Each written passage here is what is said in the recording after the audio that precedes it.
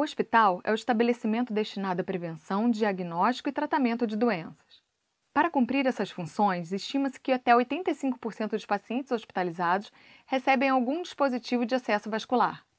Em pediatria, a instalação de catéteres intravenosos representa o procedimento invasivo mais realizado durante a hospitalização de crianças, sendo utilizada para diversas finalidades e em situações variadas.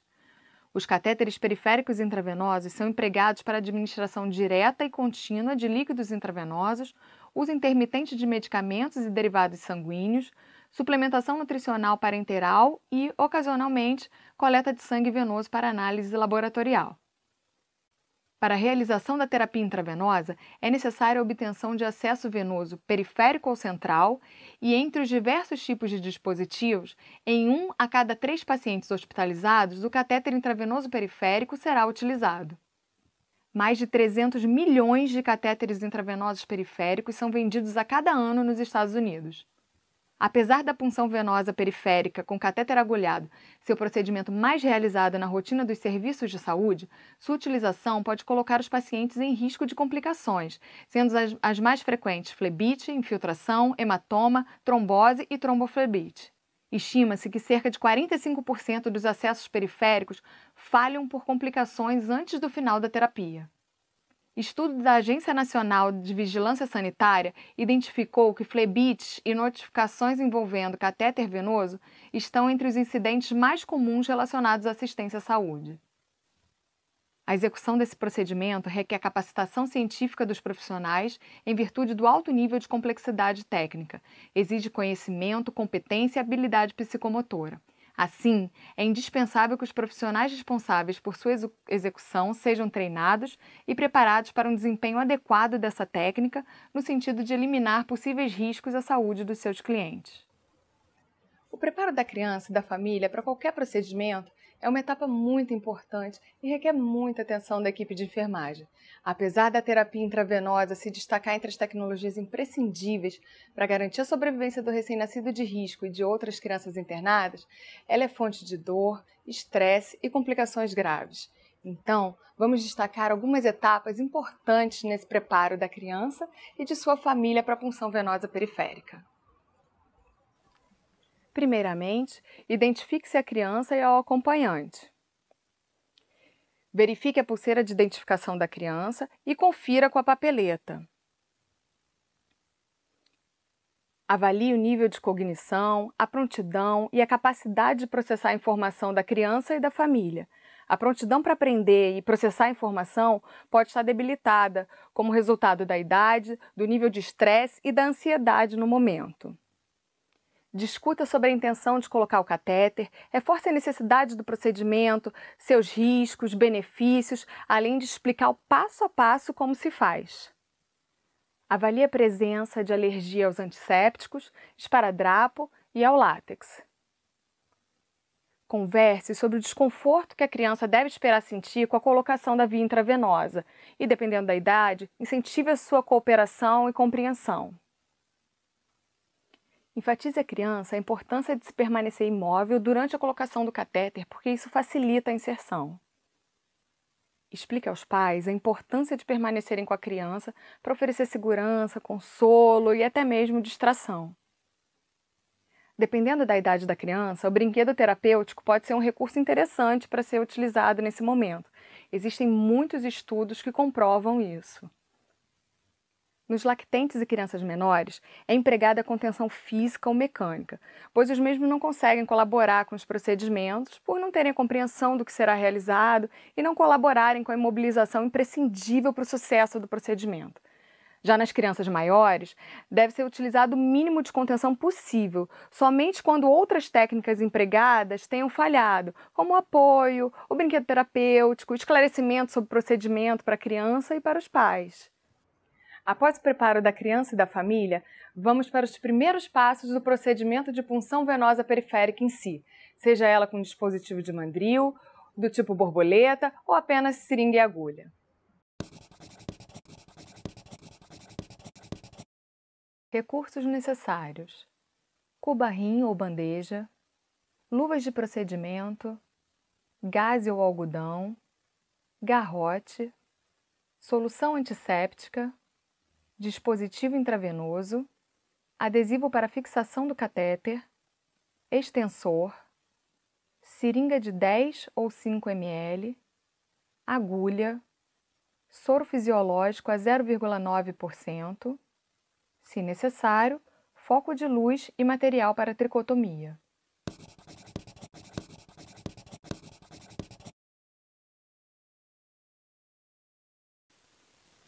Profissional responsável pela colocação do catéter intravenoso deve ter conhecimento de anatomia e fisiologia da criança e selecionar o local apropriado. A escolha do acesso irá depender da idade, do tamanho da criança, além do seu estado hemodinâmico, da experiência da enfermeira, da disponibilidade do material, da condição vascular, da natureza do líquido que será administrado e do tempo de terapia intravenosa. Inspecionar e palpar a rede venosa, dando preferência às veias proeminentes, firmes e menos tortuosas, priorizando a porção distal em sentido ascendente. Deverá ser avaliada ainda as condições da pele da criança, observar a presença de enxertos de pele ou derivações, celulite, cirurgia vascular, trombose ou doença vascular periférica evitar regiões de membros comprometidos por lesões como feridas abertas, infecções nas extremidades, veias já comprometidas, áreas com infiltração ou extravasamento prévios, áreas com outros procedimentos planejados. Região cefálica. Para crianças menores de 3 anos, podem ser consideradas as veias da cabeça. No couro cabeludo, temos as veias da região frontal, auricular, temporal superficial e veia occipital. Na região cervical, temos a veia jugular externa. Mas a remoção dos pelos, quando necessária, deve ser realizada com tricotomizador elétrico ou tesouras. Não utilize lâminas de barbear, pois essas aumentam o risco de infecção.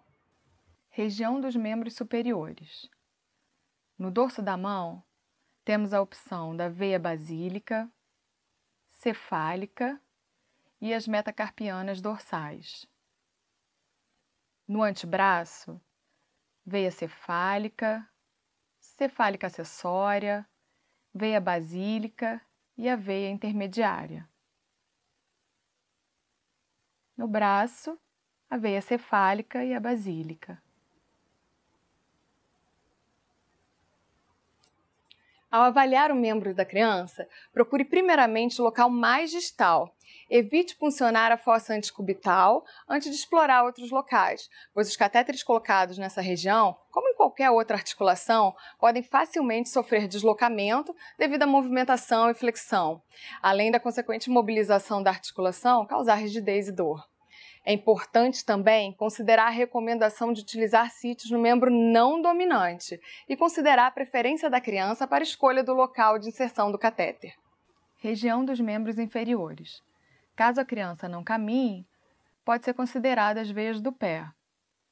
No pé, temos a rede venosa do dorso do pé e na perna, a safena magna e tibial anterior. Vamos mostrar agora um vídeo com uma simulação de punção venosa periférica com um dispositivo intravenoso com o mandril. Higienizar as mãos.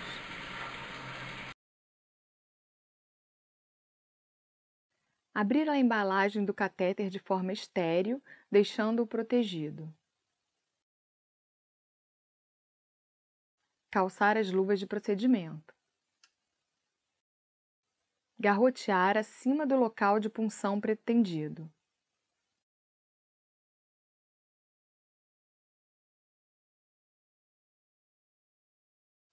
Realizar a antisepsia da pele no local de inserção escolhido com algodão embebido com a solução antisséptica, seguindo a recomendação da CCIH da sua instituição.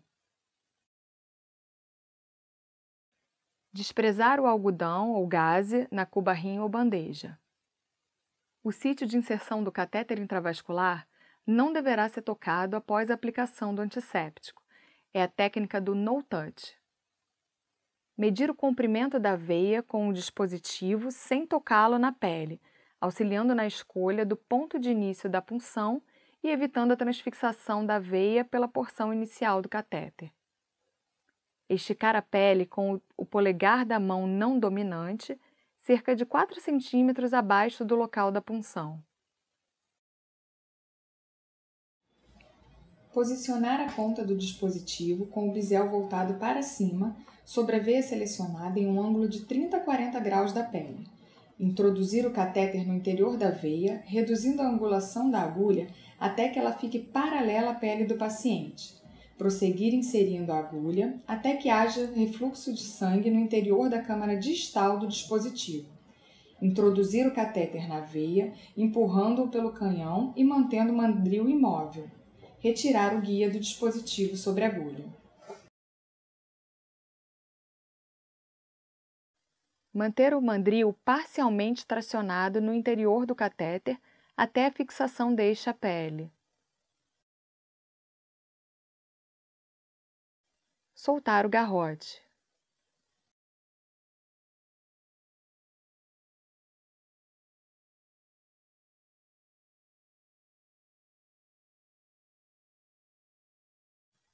Testar o fluxo do acesso venoso, injetando lentamente soro fisiológico e observando o local da punção. Estabilizar o dispositivo mantendo técnica séptica e realizar a fixação adequada com o adesivo estéreo. Posicione a cobertura com a parte superior da fenda para acomodar o hub e as extensões do catéter. Centralize o filme transparente de forma a visualizar o sítio de inserção. Aplique a cobertura na pele de maneira firme e pressione suavemente toda a cobertura com a ponta dos dedos, a fim de assegurar uma melhor adesão à pele.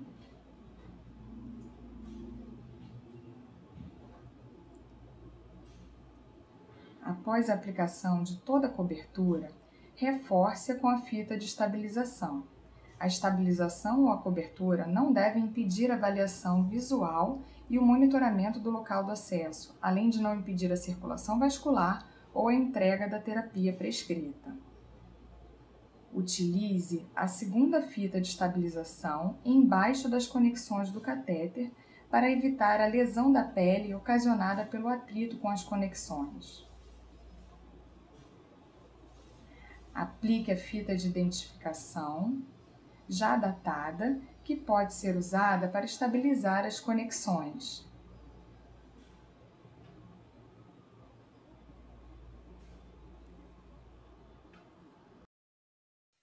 Retirar as luvas, recolher o material, descartando os perfurantes em recipiente adequado. Higienizar as mãos. A orientação da criança e da família após o procedimento é tão importante quanto o próprio procedimento de punção venosa periférica. Então, eduque a criança e a família quanto aos procedimentos de cuidados com os catéteres. Informar a criança e a família sobre qualquer limitação de movimento ou mobilidade explicar sobre os sinais e sintomas que possam indicar a necessidade de troca do catéter. Isso permite que as crianças e seus acompanhantes sejam capazes de perceber se a via intravenosa não está funcionando adequadamente e notificar a enfermeira. Explicar também todos os alarmes se alguma bomba de infusão for utilizada e orientar que não mexa no equipamento nem o silencie avisar que o local da punção venosa será checado constantemente pela equipe de enfermagem, seja de dia, de noite ou de madrugada. Na punção periférica, existe um número limite de tentativas antes de se pensar em outro tipo de acesso vascular? A Anvisa recomenda limitar no máximo duas tentativas de punção periférica por profissional e no máximo quatro no total, Múltiplas tentativas de punção causam dor, atrasam o início do tratamento, comprometem o vaso, aumentam custos e os riscos de complicação. Pacientes com dificuldade de acesso requerem uma avaliação minuciosa, multidisciplinar para a discussão das opções apropriadas. Podemos reaproveitar o catéter periférico quando não houver retorno de sangue e for utilizado no mesmo paciente? Não. Um novo catéter deve ser utilizado a cada tentativa de punção, mesmo sendo para o mesmo paciente. Qual o período de troca do catéter venoso periférico em pediatria? O catéter venoso periférico pode permanecer em pacientes neonatais e pediátricos por um longo período, contanto que não haja aparecimento de complicações, esse tipo de catéter não precisa ser trocado de modo rotineiro. Porém, é imprescindível que os serviços garantam as boas práticas recomendadas. Na falta de curativo transparente, podemos usar o esparadrapo? Qualquer estabilizador ou cobertura para catéter periférico deve ser estéreo, podendo ser semioclusiva, que é a gás e fita adesiva estéreo, ou membrana transparente semipermeável. Utilizar gás e fita adesiva estéreo apenas quando a previsão do acesso for menor que 48 horas. Caso a necessidade de manter o catéter seja maior que 48 horas, não utilizar a gás para cobertura, devido ao risco de perda do acesso durante a sua troca. Fitas adesivas não estéreis, como o esparadrapo comum e fitas do tipo microporosa, não devem ser utilizadas. Rolos de fitas adesivas não estéreis podem ser facilmente contaminados com microorganismos patogênicos. Esse vídeo teve como objetivo retratar as boas práticas de enfermagem na punção venosa periférica em pediatria, um procedimento tão importante e rotineiramente realizado, mas que requer capacitação científica dos profissionais para um desempenho adequado da técnica no sentido de eliminar possíveis riscos à saúde das nossas crianças.